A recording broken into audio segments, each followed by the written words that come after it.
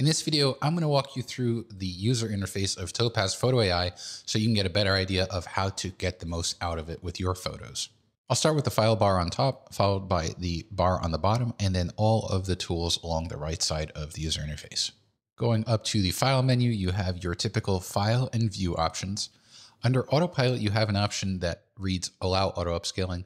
Enabling this will tell Topaz Photo AI to upscale your photo if it determines that the resolution is too low and that increasing it would improve the image quality. It's a great feature and I highly recommend keeping it on. Under account, you'll want to make sure that you are logged in so that you don't have any of the trial limitations applied. However, if you do exceed your maximum seat allowance and you want to log out of one of the computers so that you can log into another computer, this is where you would do so. Under processor, auto is the default setting and it's what I recommend. However, if you are noticing performance issues, you can try selecting the CPU or your GPU options. If you still run into issues, I recommend contacting customer support, which brings me to the help menu.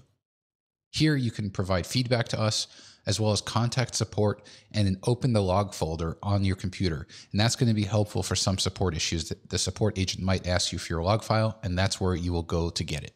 The bulk of your user interface will be taken up by the preview window. This is where your image will be shown.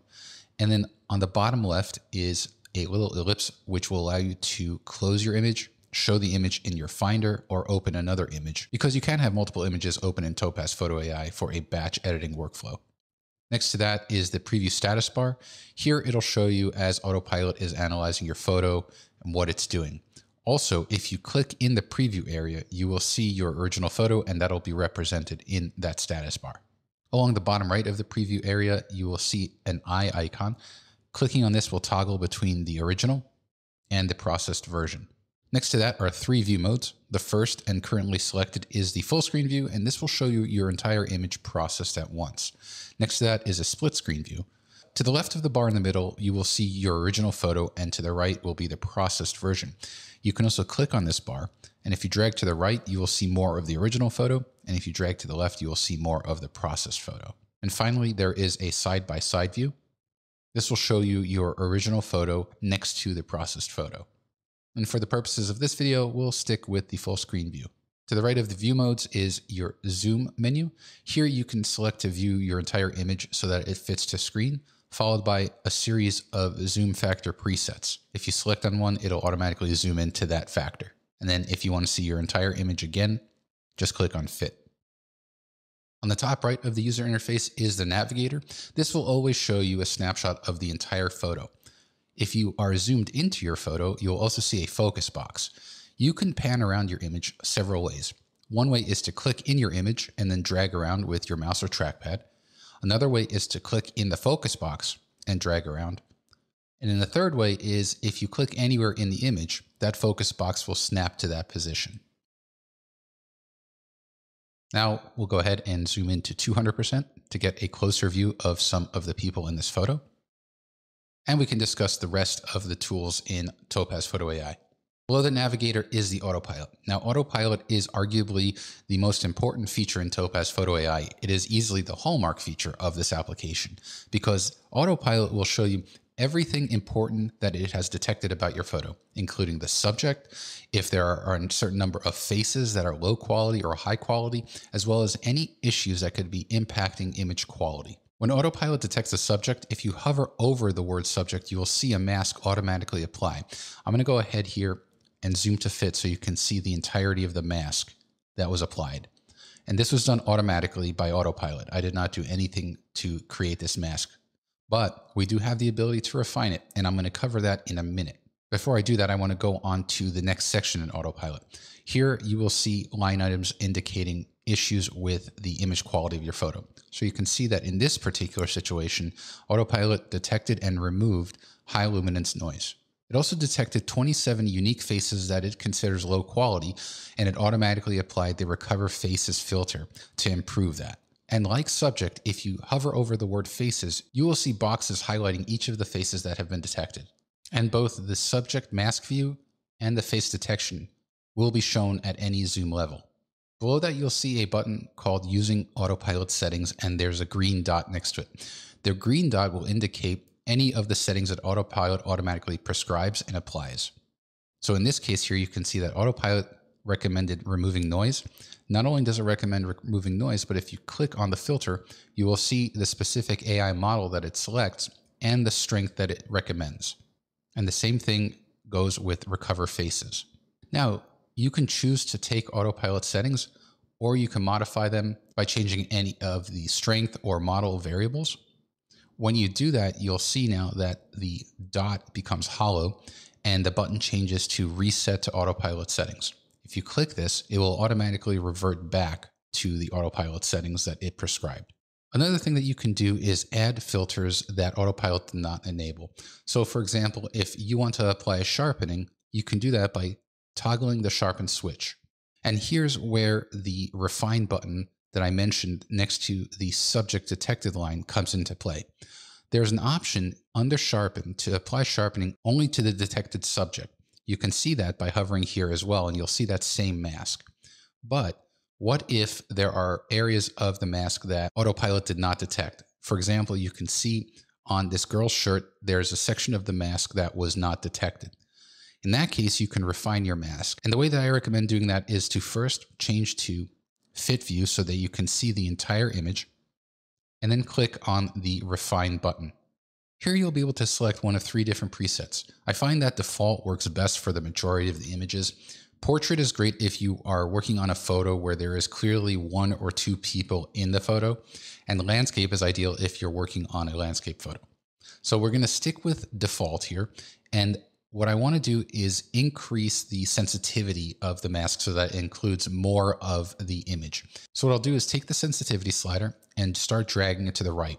And you can see how more of that mask is being drawn in until I see that everything in the area that I care about is now masked in. The next slider is softness, and this will control how hard the edge of the mask is. So what I'll do now to illustrate this is zoom in tighter and position it along the edge of the mask here.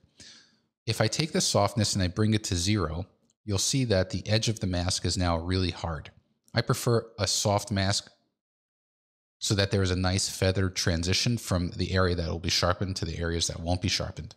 And now that I have refined the mask selection, I can click on the done button to commit that. And now I can feel confident in knowing that any sharpening that's being applied is only being applied to the subject because this switch is enabled. Before we move on to upscale, let's take a closer look at each of the filters under image quality. First is remove noise, and here you'll have two different noise reduction models, normal and strong. This filter is ideal for removing color and luminance noise that could be distracting for your image. And then below that is a strength slider, which will control just how much noise reduction should be applied. Next, we have Sharpen with its two models that are ideal for recovering out of focus or soft images. The first model is ideal for lens blur, and the second is ideal for motion blur. And like the remove noise filter, you have a strength slider to control just how much of that sharpening should be applied.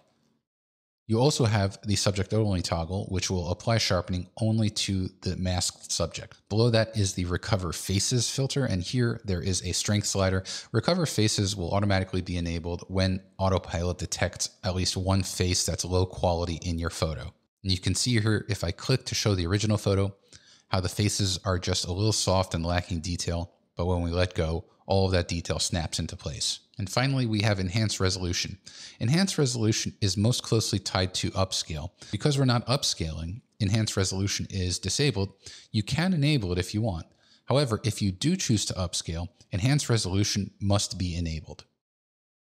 And if you expand on enhanced resolution, you will see the three different AI models that you can choose from. Under upscale, you'll have four options the first 1x is the default standard resolution of your image. 2x will double the resolution, 4x will quadruple the resolution, and max will upscale the image to the maximum resolution supported by Topaz Photo AI.